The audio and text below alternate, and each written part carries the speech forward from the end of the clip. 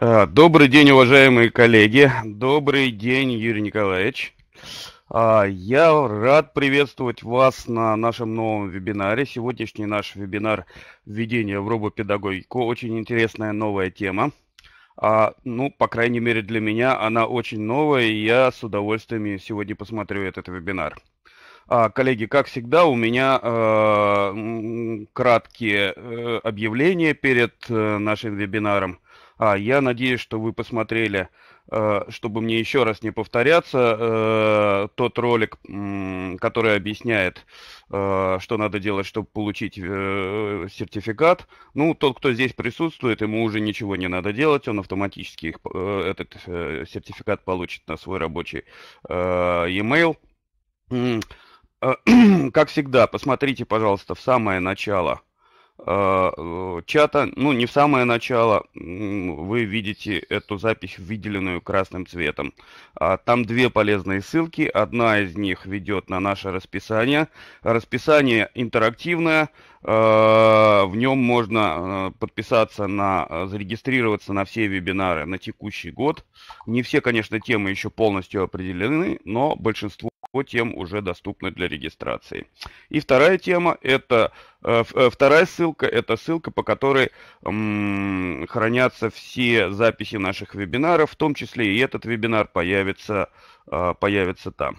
А, ну и, наконец, я хотел бы вам представить два вебинара, которые предстоят нам в ближайшее время.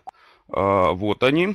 А, завтрашний вебинар, на который я вам очень советую пойти, это э, вебинар Софьи Богдасаровой «Как Википедия хранит старинные книги». Википедия как книгохранилище. А, у нас дебютирует Софья в качестве спикера вебинара. А, и э, каждый месяц она будет читать у нас... Э, Э, вебинар. Это очень интересный спикер. Я э, очень советую э, пойти на этот и все последующие вебинары. И мой вебинар, ну, он такой штатный, как я называю, продуктовый. Это вебинар о университетской библиотеке онлайн для библиотекарей, возможности администратора, функционал и сервисы. Такой вебинар я провожу ну, практически каждые полгода и приглашаю э, библиотекарей, которые еще не смотрели этот вебинар в качестве учебного материала для освоения университетской библиотеки онлайн. А, ну вот, собственно, и все из моих объявлений. А теперь я передаю слово нашему спикеру. Юрий Николаевич, распоряжайтесь а, вебинарной комнатой. Добрый день, коллеги. Надеюсь, нас уже отлично слышно. Спасибо, Павел, что меня представил и представил вот эту тему. Действительно, тема новая, горячая. Где-то даже в чем-то спорная, и я сам кое в чем сомневаюсь, но я надеюсь, что мы сегодня настолько хорошо ее э, поймем и раскрутим, а, что никаких дальнейших вопросов и сомнений, что делать с ней, уже у нас не будет. Итак, э, мы сегодня будем рассматривать новое явление в педагогике. Называется робопедагогика. А сразу же мы сегодня э, будем решать практическую часть, выбирать платформу для создания образовательных ботов. Кто я такой, кто меня не знает, я вижу здесь а, есть знакомые, но есть и незнакомые фамилии. А, так, что-то он тут скачет от колесика. Вот он я, Юрий Николаевич Белоножкин.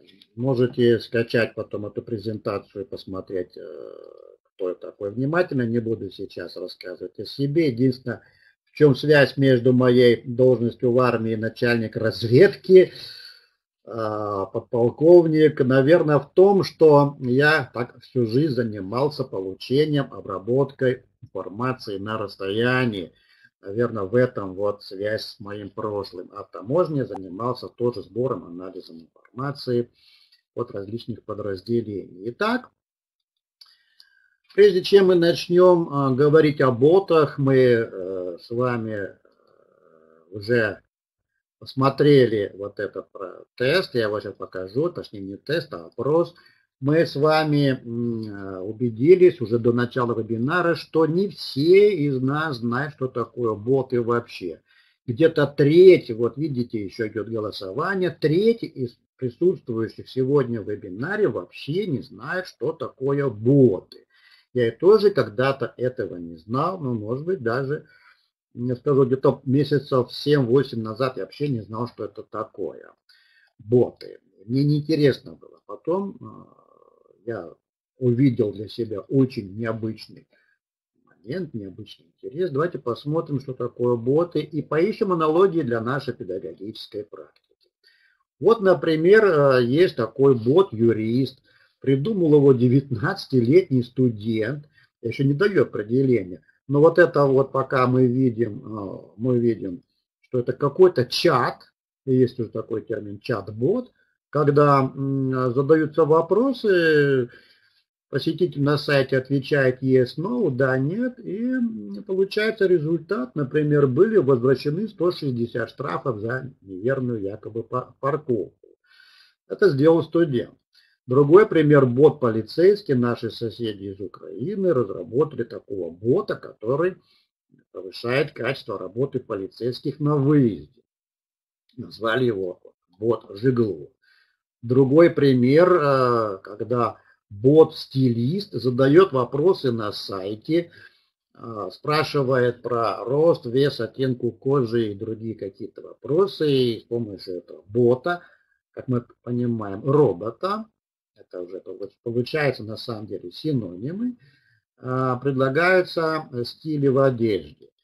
Вот еще пример, казалось бы, далекий от педагогики, от образования – бот, который принимает заказы на пиццу. На самом деле он не просто принимает, он предлагает, выберите э, то, что вам больше нравится, по какому-то рецепту, по какому-то особому э, сочетанию специй и так далее. Он задает вопросы, потом спрашивает, куда, во сколько доставит, сколько порций, если сразу не указал, и доставляет пиццу. Казалось бы, что тут общего с педагогикой. Вот еще один пример. Боты э, дворецкие, боты консьержи в многоквартирных домах приветствуют, уточняют цели и так далее, и так далее. Все, что связано с жильем. Бот-врач. Вы, конечно, будете некоторые э, скептически относиться к таким ботам, роботам-врачам, но на самом деле для каких-то экстренных случаев, для поиска какой-то информации, медикаментов, и когда вообще безвыходная ситуация, вот такой бот э, может что-то сделать полезного для э, человека. Ну, про ботов финансовых консультантов уже много, э, наверное, давно уже известно. Сам как бывший брокер на бирже финансовой знал, и мы применяли такие роботы, программы, которые сами торгуют Э, совершают сделки на бирже. Вот такие финансисты, но эти еще и разговаривают. Идем дальше. Вот еще один пример э, ботов. Я сам пробовал, мне очень понравился. Вот этот бот Заряна. Он, э, кстати, говорит на русском языке тоже, не только на украинский, по-украински отвечает и спрашивает. Тоже полезный бот, который действительно помогает и для фирмы, и для посетителей. Давайте все-таки вернемся к определению робопедагогика, потому что эта тема заявлена, и сразу я отмечаю варианты ответа на этот вопрос, который мы сегодня вместе с вами сформулируем. То ли это гипотеза, в науке гипотезы тоже существуют, то ли это пока только лишь предвидение, то ли это вид практики применения а, роботов педагогики, то ли это какая-то выдумка, миф, неправда. Вот, вот мы сейчас вместе попробуем это рассмотреть. Начнем с того, что слово робот, э, это вы видите сейчас на экране, я не буду перечитывать, это машина с человекоподобным поведением. Все мы с детства слышали это слово. Единственное, что э, появилось сокращение от этого слова – бот. И обычно это сокращение бот э, многие связывают со словом чат-бот. То есть чат это по-английски беседа, когда переписываешься вручную с каким-то роботом э, в виде чата. Но тем не менее и бот, и робот в дальнейшем будут часто пониматься как синонимы. Роботы. В современном мире сегодня а, уже очень много оценок. Вы вот видите оценку э, профессора из США. А, есть предпосылок, мнений и фактов о том, что вот вы видите сейчас на экране. Души у роботов нет, эмоций нет, но элементы а, мышления, искусственного интеллекта существуют. И в соответствии с этим интеллектом машина еще и действует. Еще одно определение. А в отношении искусственного интеллекта споры идут до сих пор. Это раздел информатики, алгоритмы сложные, здесь не все связанные с математикой. И я скажу, сам не разрабатываю интеллектуальные системы, но зато я знаю, э, теперь и вы узнаете, что есть такие машины, такие программы, такие возможности, которые действительно решают задачу искусственного интеллекта и даже самообучения. А, это еще один важный момент, который мы принимаем в, наш, в нашем суждении. Возвращаясь э, к слову педагогика, а, вот вы, вы видите его определение, а, мы отмечаем, что в этом определении мы э, учитываем суть законов, неких фундаментальных положений о взаимосвязях мира, о закономерностях, которые в чем-то конкретно выражаются в каких-то показателях. И мы в этом определении мы э, отмечаем момент легкости, доступности, легкие пути достижения педагогических целей. Вот, пожалуй, на этом легкие пути я буду делать больше акцента и делать а, смысл в том, что для педагогика важно, для педагога в его практике важно такие искать пути, которые помогают ему лучше выполнить его задачу, лучше облегчить его жизнь. Смотрим дальше. Вот на этой схеме структурной педагогика я добавил вот здесь краткое определение, что это всегда,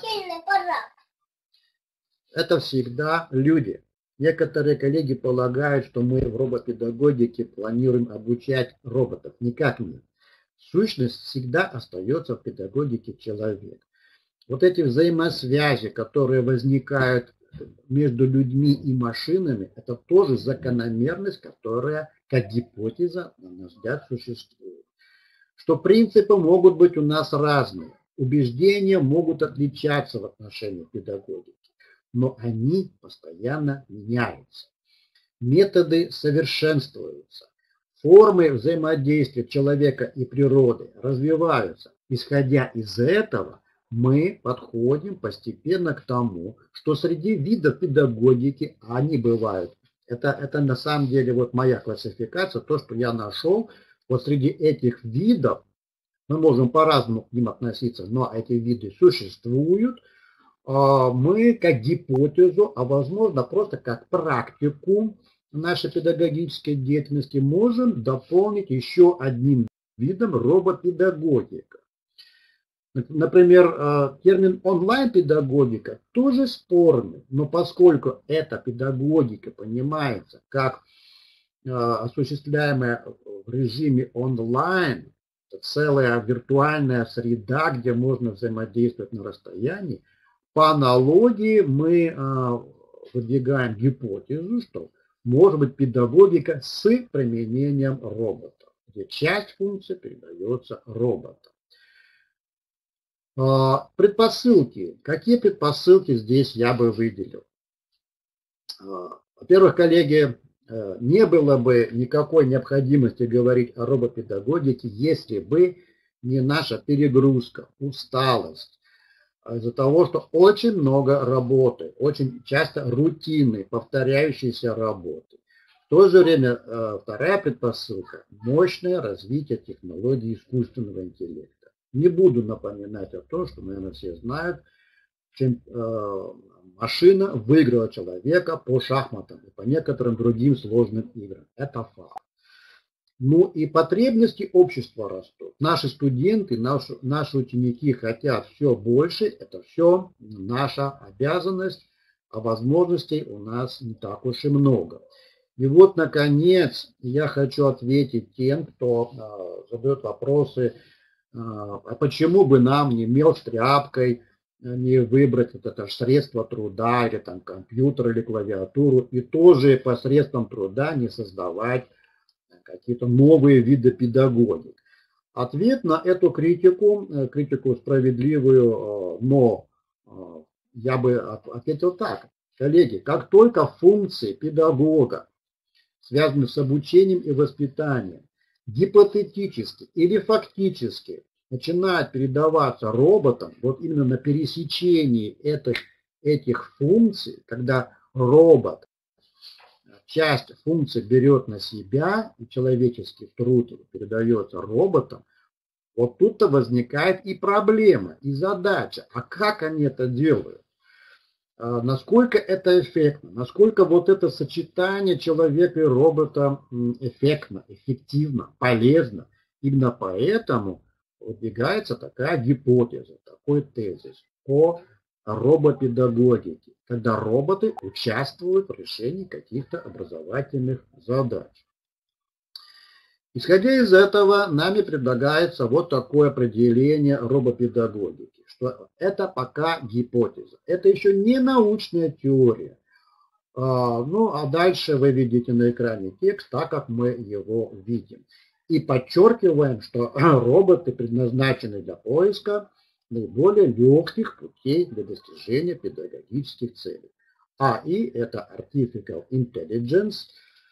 А, запомним вот эту аббревиатуру, она часто будет употребляться не только в нашем вебинаре «Искусственный интеллект», но э, отметим, что есть еще одно определение, похожее на это, как Augment Intelligence, дополненный интеллект. Мне нравится еще больше, чем Artificial Intelligence – поскольку это означает дополнительный интеллект. То, что есть у человека, дополняется роботом.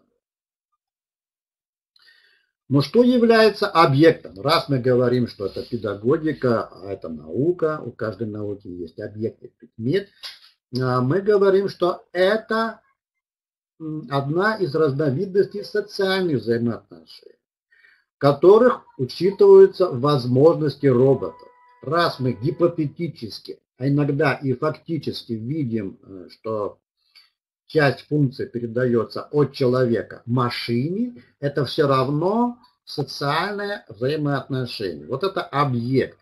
Это те явления действительности, когда часть выполняется роботом. А предметом э, этой гипотезы изучения э, вот я взял определение из одного из учебников, можно брать разные определения, неважно. Просто к этим определениям я дополняю вот именно этот тезис. Когда часть педагогических функций, не технических, не рисование на, на экране, не э, рисование мелом на доске, а именно интеллектуальных функций выполняется роботом. Обращаю к вашей коллеге. Некоторые думают, что робот это просто как средство типа компьютера или планшета, или мышки, или клавиатуры и так далее. Нет, это новая сущность, новое явление благодаря наличию искусственного интеллекта. Ну а теперь рассмотрим место и роль робопедагогики в современном мире. Какие есть прогнозы, аналитика и мнения на сегодняшний взгляд, исходя из того определения, которое мы выдвинули, из той гипотезы, из той возможной практики робопедагогики, которую мы сейчас рассмотрели с вами. А, во-первых, я бы выделил вот э, такую вот э, схему, пять факторов, которые выделяются многими аналитиками и маркетологами, и системными аналитиками в области социальной инженерии. Вот такие пять факторов. Коллеги, эфемерное содержание означает то, что информация настолько быстро устаревает, что ее даже и не пытаются сохранить и найти. Вот она сегодня есть, это новость. это обсуждение, какая-то там статья, публикация. На следующий день она замещается другой, более интересной, более точной, более новой. Информация все время уходит. Мы даже не можем найти то, что было для нас раньше, мы теряем, оно где-то лежит э, каким-то сложным поиском. Если сразу не сохранили, оно идет на постоянное обновление, и некоторые а, уже операторы, некоторые организаторы деятельности просто удаляют старую информацию, чтобы она не мешала. Постоянно создают что-то новое. Вот это эфемерное содержание. В то же время а, обращается внимание важности контакта на личном уровне, психологически. Мы любим, когда с нами общаются индивидуально. Это фактор успеха. Именно поэтому я часто критикую массовые открытые онлайн-курсы или просто массовые курсы, потому что там теряется личный контакт. Там есть приемник обучаемый и есть система контроля итоговая. Там очень мало личного взаимодействия обучающего и обучаемого. Да, иногда оно есть, но чаще всего нет в массовом обучении. В этой э, связи отмечается важность социальных чатов постоянное общение. Многие мы видим в метро, где-то там еще, на, даже на конференциях, переписываются постоянно. Мамочки выходят гулять с детками и не отрывают лица от смартфонов, с кем-то там продолжают чатиться, переписываться. А, социальные чаты очень мощный инструмент, э, который вошел в нашу жизнь. Интерактивное вещание – это еще один фактор, еще один тренд, когда мы любим быть участниками какого-то процесса. Нам нравится выходить в эфир. Мы видим, как все чаще в Фейсбуке, в Ютубе многие выходят в эфир в режиме прямого а, реального времени и что-то вещают.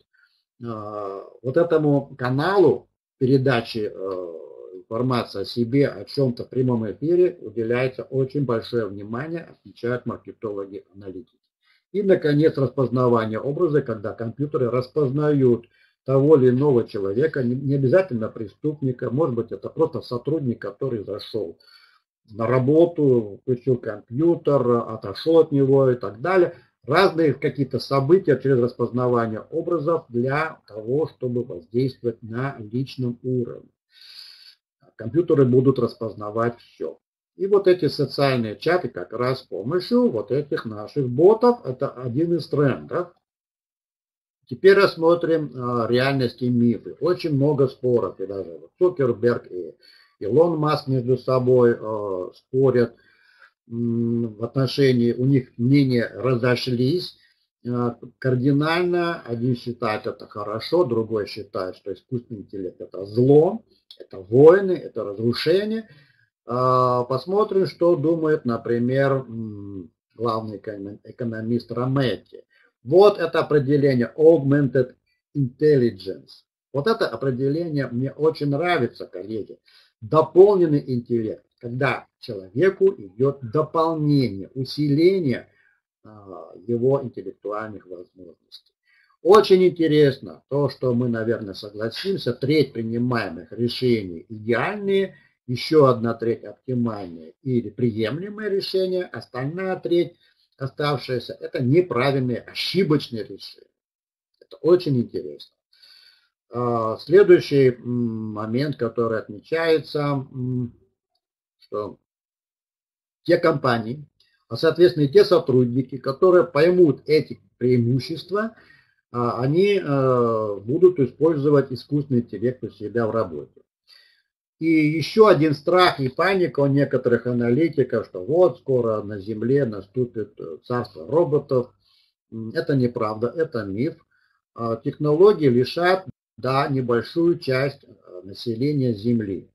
Просто изменится профессии, но людям работа останется. Появятся новые профессии. Появятся ли они в образовании? Посмотрим.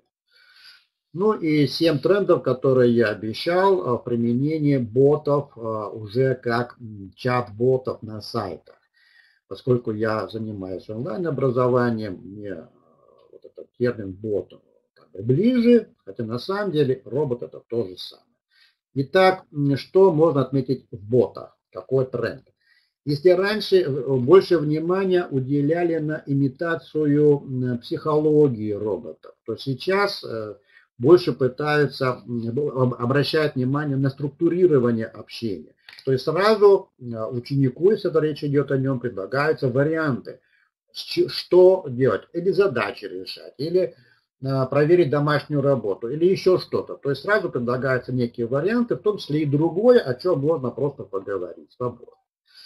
А следующий тренд – это интеграция в мобильные устройства. То есть сайты, в том числе вот и наш мы дальше посмотрим, они сразу интегрированы для мобильных устройств, то есть с любого смартфона, телефона, планшета можно вести диалог с такими ботами, хотя и с человеком тоже. Социализация, то есть э, придание функций общения с человеком, социумом, открытость э, экосистема вот этих ботов. Речь о том, что каждый из нас, коллеги, может спокойно, если э, у него будут хорошие технические возможности, хорошие учебники, какие-то а, консультанты, он может, э, вот этот тренд, будут преподаватели использовать не обращаясь к каким-то дорогим решениям, потому что это открытая экосистема, могут сами применять боты. Следующий тренд. Будут развиваться отраслевые платформы. В образовании пока я не вижу таких признаков. Они еще слабые, но э, в финансах, э, в маркетинге каких-то услуг, тех же туристских услуг, э, предпродажной подготовки, послепродажного сопровождения. Вот отраслевые платформы уже держат а, победные такие, достигают победных результатов, заменяют сотрудников, решают за них их работу в отраслях. Гибкие модели обслуживания, то есть может решать разные функции. И консультант, и советник, и психологическая какая-то помощь, и другие. Эффект домино означает, что один сделал, в одном месте попытался, другие посмотрели, стали копировать, применять, и пошло вот этот эффект домино, идет наращивание вот этого явления применения ботов. Вот такой тренд. А, ну и переходим к третьему вопросу, сложному, наверное, вопросу. А как же нам, а, на, на основе какой платформы всю эту идею и всю эту технологию можно применять? Для того, чтобы попытаться подойти к решению этой задачи по выбору платформы, мы будем опираться вот на, это, вот на эти четыре момента. Каковы наши потребности, потребности общества, каковы наши затраты, в том числе и времени. Я считаю, время это самое дорогое, дороже, чем деньги. Как, какие у нас возможности сейчас, в будущем. Может быть, эти возможности с помощью этих ботов увеличатся, а может быть и нет. Э, ну и самое главное, а что эти возможности в итоге дадут, каковы результаты. Вот такая как бы постановка задачи. Я понимаю, что время очень мало, но тем не менее обращаю внимание на вот эти важных четыре условия. Прежде чем что-то выбирать, нужно оценить вот эти факторы. Попробуем это сделать вместе. А вот здесь вы видите фрагмент той таблички, ссылочку на нее вы видите э, в этой презентации, вы можете ее скачать. Я отметил ее на свободном для скачивания. А мы видим таблицу, которую я сейчас попробую показать. Вот, э, вот эта таблица. Видна ли она сейчас на экране, уважаемые коллеги? Я прошу э, поставить хотя бы один плюс, э, да, видно, спасибо, спасибо. А я на вопросы отвечу позже, когда закончу. Итак, коллеги, э, вот эта таблица, еще раз говорю, она доступна каждому из вас. Вот на всякий случай. Ну, сейчас не буду ссылку открывать, она есть в презентации. А, э, коллеги, давайте мы прослушаем это, потом проведем в конце небольшой такую дискуссию. В этой таблице собраны 25, 25 вариантов а, вот этих платформ для построения ботов. В этой таблице я уже перевел некоторые элементы, такие как заголовки, показаны возможности каждой системы, языки программирования. Оно э, нам и не всегда можно. Например, я тоже не программист, как многие здесь присутствующие. Но если есть программисты, вот здесь информация есть. Какие-то языки, технические детали, наличие лицензии, например, э, наличие свободной лицензии, это всегда плюс Э, наличие, какой язык, на каком языке такие боты могут разговаривать, для нас важны наши языки, русский, украинский, если кто с Украины и так далее.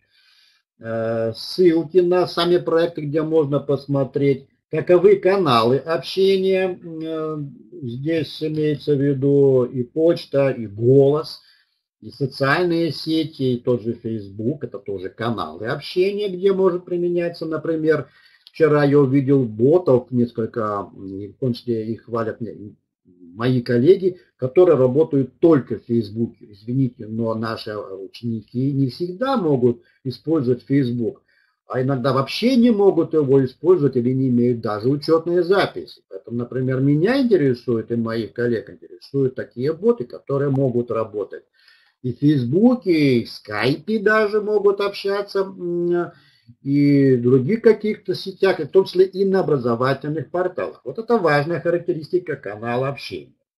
А следующая а, характеристика – это отрасли применения. Вот мы видим, коллеги, смотрите, какие интересные отрасли применения могут быть вообще в принципе. Здравоохранение, финансы, право, ритейл, какие-то игры – вот такие вот характеристики, которые вы здесь можете увидеть. Коллеги, я сейчас не буду устраивать подробный разбор а, вот этих всех а, моментов. Во-первых, он не всем нужен, я знаю. А, я только лишь а, покажу итог. Вот видите, я выделю таким желтоватым цветом бот под названием api.i. Если говорить такими латинскими. API. А, эта платформа, вот ее здесь описание, основана на, на обработке подходящих, на обработке намерений или intents по-английски. А, что мне интересно, что понравилось, она может воспринимать русскую язычную речь как письменно, так и устно. Она распознает голос, причем отлично распознает. Какие языки программирования вы видите достаточно мощные лицензия, коллеги, бесплатная. API, там написано четко, цена бесплатная. А вот на анализ, ну и язык вот здесь русский. Дело в том, что эту программу, эту систему, этот сервис разработали наши соотечественники, но, к сожалению, в России это не нашло поддержку, и компания Google, всемирно известная компания, выкупила ее Э, в свое пользование стала собственником этой платформы, но русский язык там остался. Украинский, испанский, вот, китайский, два простой, тради... упрощенный, традиционный. Это тоже интересно для нас. Э, и вот ссылка на этот проект. И очень интересно, вот э, я выделяю здесь каналы общения, которые вот тут есть. Я смотрю на другой экран. Тут и Skype есть, и Telegram кто-то любит и Spark модный за рубежом, и Twitter, который некоторые любят. Вы скажете, зачем столько много всего? Дело в том, что если вы э, создаете бота, который работает, к примеру, в Фейсбуке, он точно так же будет жить на любом другом канале. Это здорово. То есть универсальный канал, э, он отвечает точно так же, работает быстро, оперативно, вот такой вот э, такая платформа, мне кажется, очень интересная. А, я э, не буду дальше подробно рассказывать про все эти 25 платформ. Я, платформ, я их ссылочкой вам дал. Вы можете посмотреть. А, но а, мы продолжим э, более подробно на наших слайдах. Вот здесь вот я тоже не буду читать подробно. Всем известная компания IBM – я смотрел то, что они делают, коллеги, вот то, то, что здесь написано, то, что это возможно, вот лично мне упертому такому волевому человеку понять не удалось. Мне показалось очень сложно. Хотя это может быть удачный пример, но я буду рад, если кто-то вникнет и поймет вот эту систему. Я ее не понял. Очень сложно. Также не понял и Microsoft Bot Framework. Мы очень много потратили времени э, на анализ различных платформ, чтобы выбрать лучшую, чтобы сегодня поделиться с вами тем, что действительно может применить любой педагог. Вот эта вот платформа VidI тоже перепробовали. Мы все перепробовали. Или платные, или русского языка нет, или усеченный э, набор каналов общения. Что-то вот все время не хватало. И вот именно API нам понравилось. Повторюсь, воспринимает русскую речь даже с голоса. Говоришь в микрофон, привет, как дела, где ты живешь, что ты тут делаешь. Робот, э, этот бот отвечает, я живу в твоем устройстве. Э, кто твои родители? Мои родители Юрий Белоножкин, Татьяна Телегина. Э, вот такие вот моменты можно заключить. Или спрашивает, чисто по образованию, что такое вот это, что такое это, он отвечает достаточно быстро и хорошо. Не то, что достаточно, очень быстро отвечает. А, ну и, наконец, а, переходим к вопросу применения образовательных ботов. Потому что вы скажете, ну хорошо, ну выбрали платформу, ну есть какие-то у вас там гипотезы мнения. На самом деле, коллеги, мы пробовали это все, такое у нас есть некое объединение педагогов э, России. Инициатором этого объединения выступила Марина Юсова э, из Новосибирска. Она в группе профи-до однажды спросила, коллеги, давайте, кто хочет, вместе объединимся над созданием онлайн-курса, посвященному самостоятельной работе студента. Это произошло э, летом, где-то, по-моему, в июле. И эта идея нашла сторонников. И мы э, частенько там собираемся, раз э, в неделю у нас собрание колхоза. Ну, колхоз это такое игровое название. А, собираемся, э, проводим собрания, решения. Мы совместно выполняем бесплатно на основе энтузиазма колоссально интересную работу, исследовательскую, научную. У нас готовятся научные публикации, научные авторы – свои возникают новинки. Одна из этих новинок вот как раз боты. И началось с того, что вот я сейчас уже показываю платформу API, вот этот уже интерфейс, а, стали создавать преподаватели роботов, давать ему изображения, а, язык, настройки, вот это я сейчас не буду вникать в детали, просто вас знакомлю бегло, как работает и как это получается. Вот здесь структурно это intense, перечень намерения которых говорит обучаемый или э, посетитель этому боту, entities, сущности, которые подразумевают собой некую, некую сущность в реальности э, для анализа контента. Система интеграции с платформами, это не буду сейчас говорить. У нас э, для вас готов подарок на эту тему, специальное пособие для начинающих. Вот этот вот э, бот э, настройки э, дихотомия, уже здесь я свою фотографию разместил, описание. Это очень интересный эксперимент. Вот здесь вот еще один бот, который говорит от имени человека. У нас все персонифицировано. Берет это в данном случае фотография, но от имени автора Татьяны Викторовны Телегиной – был разработан бот, который отвечает по всем вопросам организации самостоятельной работы студентов. И вначале с ним нужно просто поздороваться. Дальше пойдет общение. Вот пример такого дихотомического ключа. Те, кто знает систему Moodle, а, эта система Moodle вот здесь есть. Вот обратите внимание, мы в нашем колхозе разработали вот такой дополнительный модуль а, с названием бота он называется дихотомик, это такое э, рабочее название, нажав по которой в онлайн-курсе появляется вот такое окошко, и вот этот Юрик дихотомик отвечает на какие-то вопросы именно по, а, что такое дихотомический ключ, кто знает биологию, ботанику, помнит, что это такое для анализа, для классификации каких-то категорий, каких-то сущностей на основе дихотомического ключа. Сейчас не буду рассказывать подробно. Он работает очень хорошо. Вот это пример. Э, кибертьютер, э, вот так вот он пустой. Как только студент вводит в него текст, например, там «Привет, здравствуйте», тут же отвечает вот такой бот, показывает автора, вот он ему говорит, вот тут имеются ссылочки. Вот этот бот работает и на сайте, и в скайпе. Вот то, что я говорил, разные каналы. Вот, пожалуйста, тот же самый бот работает в другом канале Telegram. Нет, простите, это Skype. То есть в Skype может э, любой человек общаться с таким ботом, и тот будет ему отвечать. Вот тот же самый бот э, Любови Крашенинниковой, э, который вообще не программист, а, у нее получился такой бот, он работает в канале Telegram. А, этот бот э, разработан Татьяной Телегиной. Вот он так выглядит. Вот он этот микрофончик, по которому можно с ним разговаривать голосом. Это уже на сайте Moodle.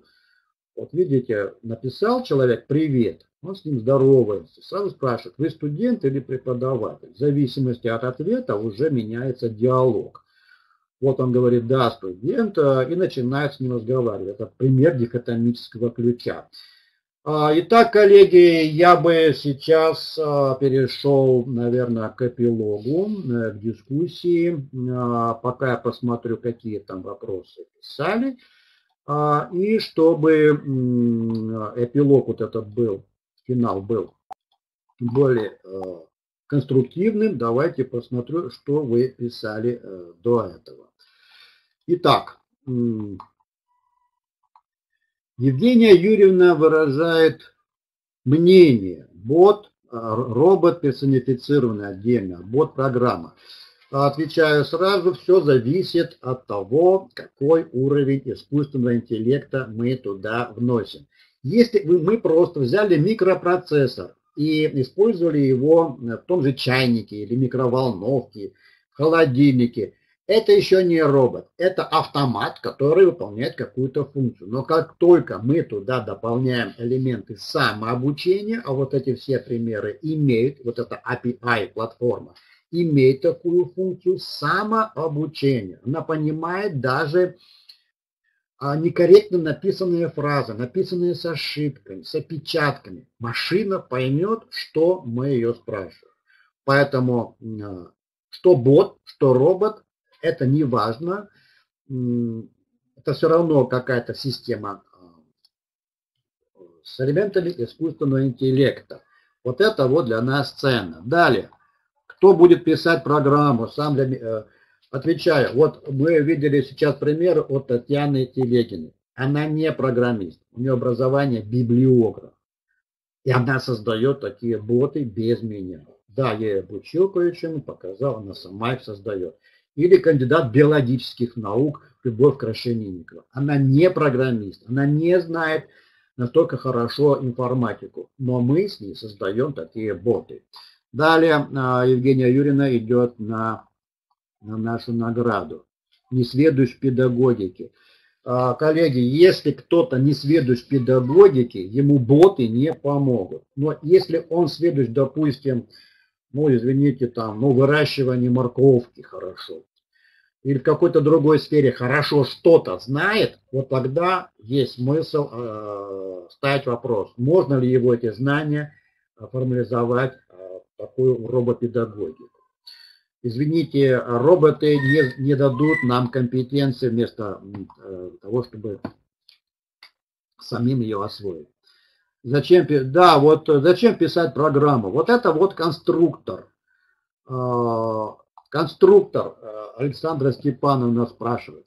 Нам не надо с нуля что-то писать. Нам достаточно знать методику обучения, смысл того, что мы обучаем, и знать вот эту робопедагогику, из чего она создает, состоит, как она делается.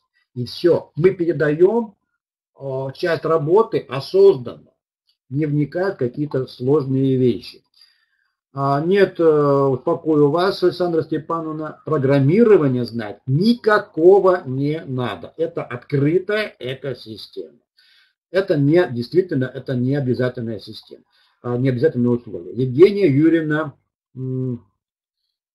а, вот, вот интересная точка зрения Евгении, Евгении Юрьевны Широковой на роль системы тестирования. Действительно, Тесты – это автоматы, которые выполняют функцию контроля вместо нас. Это очень э, близкая аналогия к тому, о чем мы говорим. Действительно.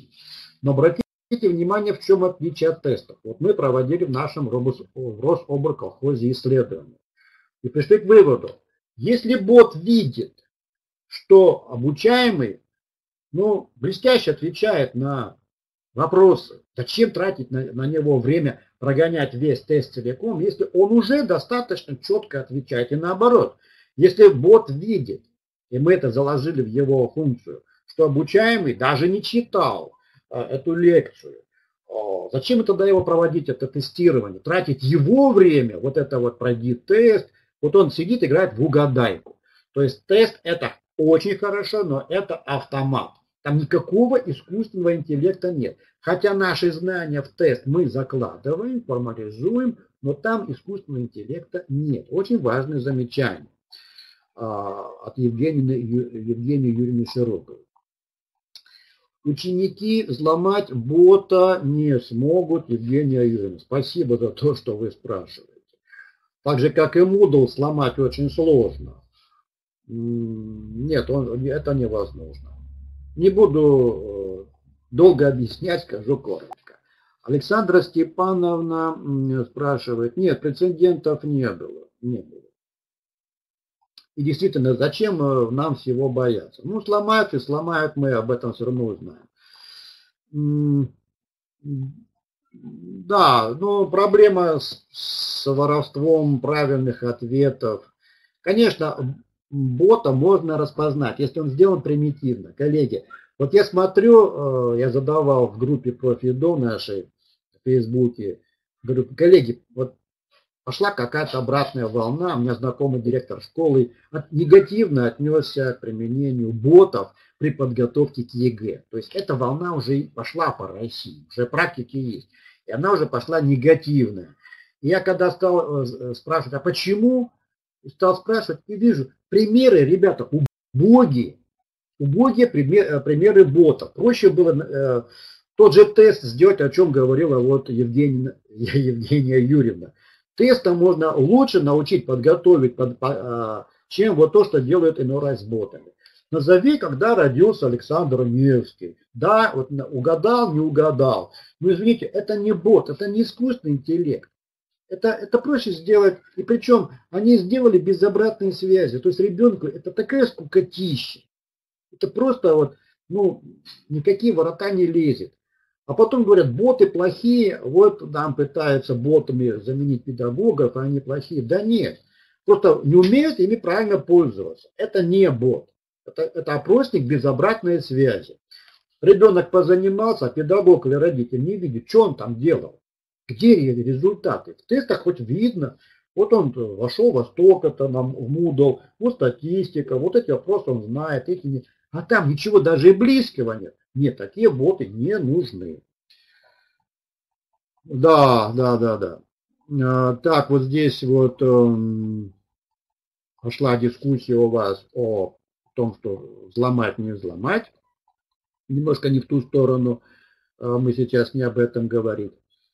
Вот, мне очень понравилось э, мнение Надежды Михайловны, что это искусство. Коллеги, вот мы в нашем Рособраколхозе активно обсуждали, собираемся и говорим про вот эти боты, и когда видим, что наши боты, вот то, что мы делаем, они никогда не, одина, не отвечают одинаково на один и тот же вопрос. Мы в жизни э, можем сказать на ответ «как дела?» И так, и так, по-разному, выражая один и тот же смысл. Да? Вот наши боты, они вот такие вот, человекоподобные, они а, подбирают, они здороваются каждый раз по-разному. В один раз он скажет привет, другой скажет мое почтение, а, они очень интеллектуализированы, бы так сказать. А, конечно, это не, зам... не полностью заменит искусство педагогик, педагога, но как психологически, интеллектуально часть функций может забрать. Может забрать. Мы, мы к этому идем. А Елизавета Сергеевна, да, никогда не заменит. Полностью, действительно, не заменит. Но часть функций. Вот какая часть? Мы говорим с вами, а, еще пока не говорили. Мы говорим только про часть. Это товар. Помогают, они заменяют, подтверждает Юлия Николаевна. Спасибо. Да, да, вот Александра Степановна правильно, правильно поняла нашу идею. Юрий, Юрьевич. Ну да, наверное, и такое может быть. Хороший бот может оказаться лучше плохого педагога. Да. Вот это, это да, может. И это только начало, говорит Елена Алексеевна. На самом деле мы э, не в самом начале, у нас уже есть практика, о чем мы будем с вами делиться. Да, это разнообразие. Это поддержка. Да, мы же книги читаем, мы же с ними не разговариваем, а тут дополнительная возможность, которой нет в обычной книге. Да, да, да,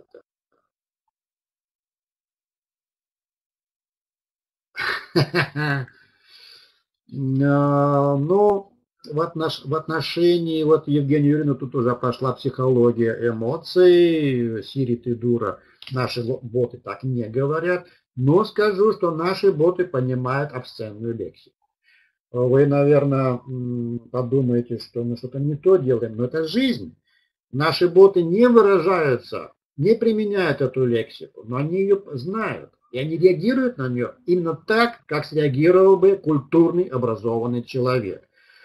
А, пример Сири хороший, мы пошли еще дальше. Сертифицированные модераторы, сертифицированные боты. Андрей Владимирович э, высказывает суждение, это не вопрос, это суждение.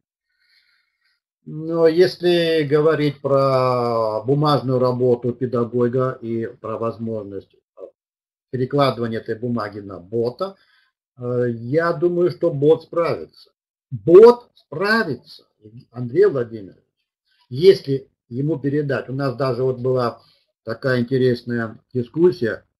Татьяна Викторовна мне, мне говорит, Елегина, а что если мы создадим бота, который будет отчитываться федеральному эксперту при госаккредитации. Я говорю, почему бы и нет? Если его обучить, он будет отчитываться на все опросы, любой документ, любую справку и так далее, любой отчет будет выдавать, естественно, в электронном виде, или скажет, где он лежит. Она дальше меня спрашивает, а что если и федерального эксперта сделать в виде бота? Его два бота общаются, один проверяет, другой отчитывается, вот они между собой. Ну, тут я, у меня уже фантазия закончилась, я не могу такого представить, но даже такие мысли уже иногда возникают в голову.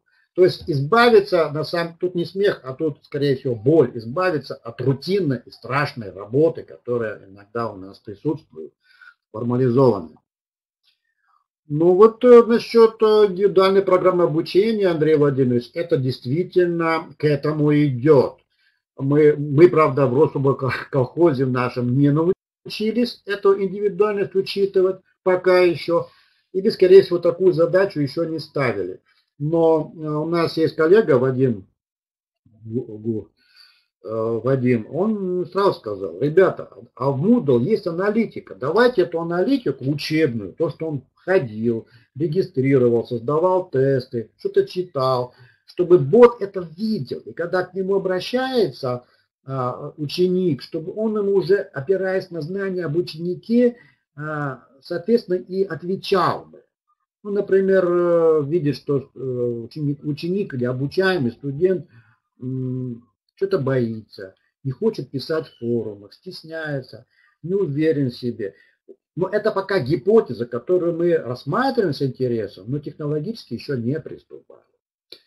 А, Николай Александрович, у нас есть, у нас есть э, плагинчик, который появился в нашем колхозе, который в Moodle держит вот эту вот ссылочку, бейджик, он стоит неподвижно, кликнув по нему, появляется окошечко в чате, а мы можем а, это показать. Тут классная дискуссия у вас, я читаю, смотрю, бот-платформу на Messenger, Skype. Совершенно верно. Вот, э, Дмитрий Викторович, коллеги, мы говорим, что в нашем решении не нужен ни сервер, не нужно никакие заявки, не нужны программисты, не нужны какие покупки программ. Все, заходишь на, вот у нас книжечка, книжечка специально выпущена, пособие практическое, а, заходишь на сайт и все. И все, ничего не надо покупать, кого-то там звать и так далее. Да, это можно делать именно вот так. Платформа, на наш взгляд, выбрана идеально для педагога.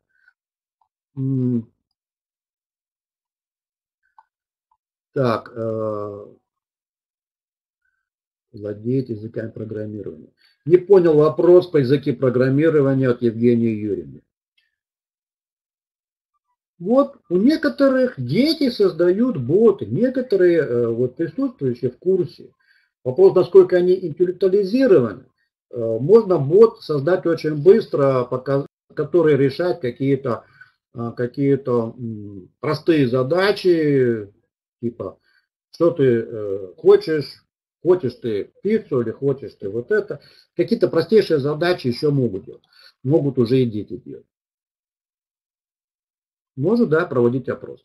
Так, и, э, и э, не только интерактивных.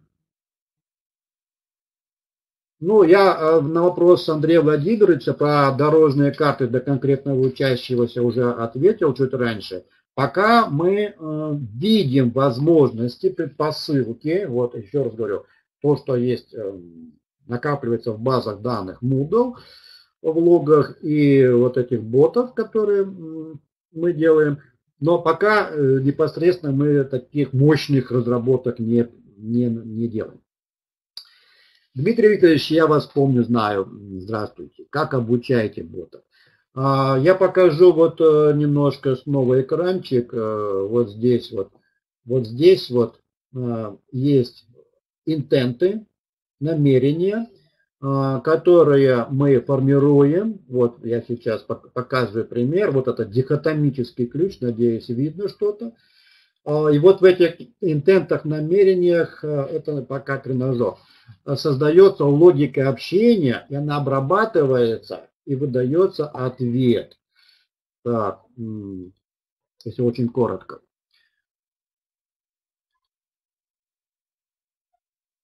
Да, да, да, да, да, плагин.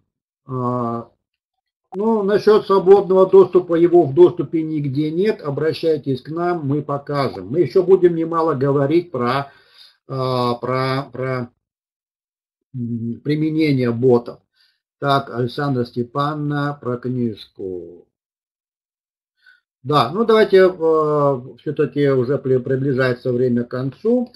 Э, вот что мы э, предлагаем нашим коллегам, всем желающим. Э, вот бот Tutor.